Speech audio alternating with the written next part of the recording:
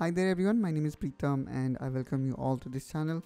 In this video, I'll be talking about a common issue that many people may face with their wireless mouse. Here I am talking about cursor lag or the lag you may face with your mouse no matter how cheap or expensive it is.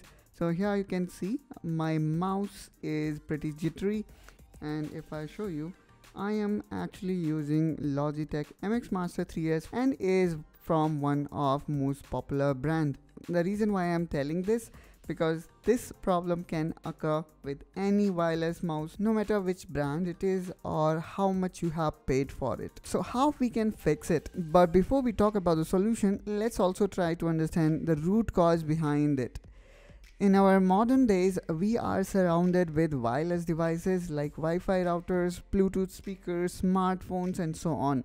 This is where the problem begins and there could be hindrance between the frequency of your wireless mouse and the frequency of these devices.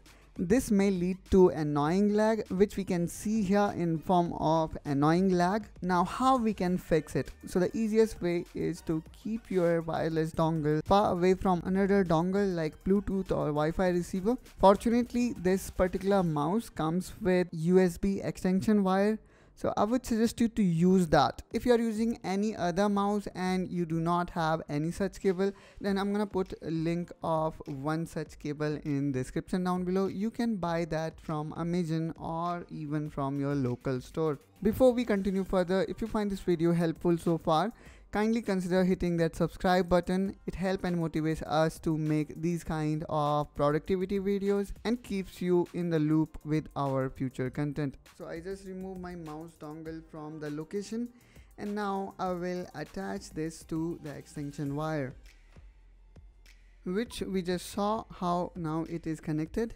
Now let me again utilize my mouse and I can see that the lag now went away now I can also compare the performance of this with my wired mouse.